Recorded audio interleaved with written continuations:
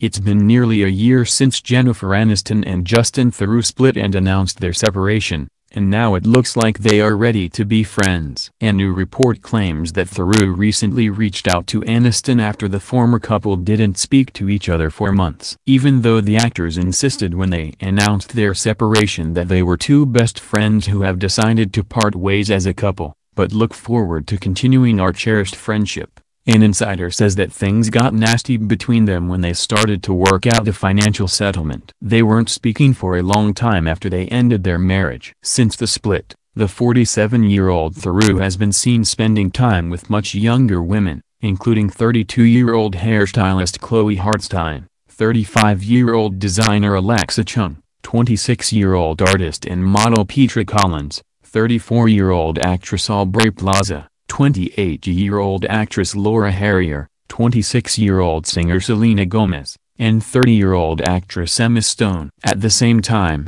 rumors swirled that Aniston was getting back together with her first husband, Brad Pitt. There were even reports that they were moving in together.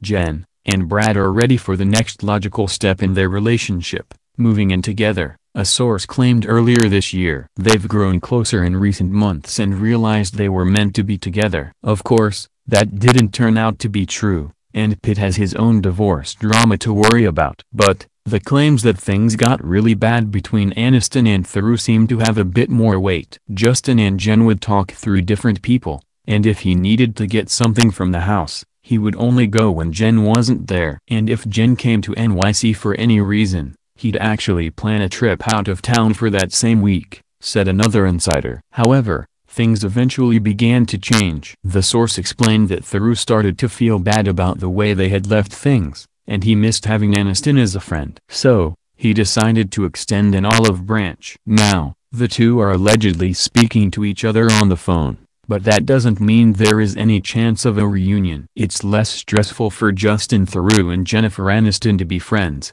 just like they told us when they announced their separation.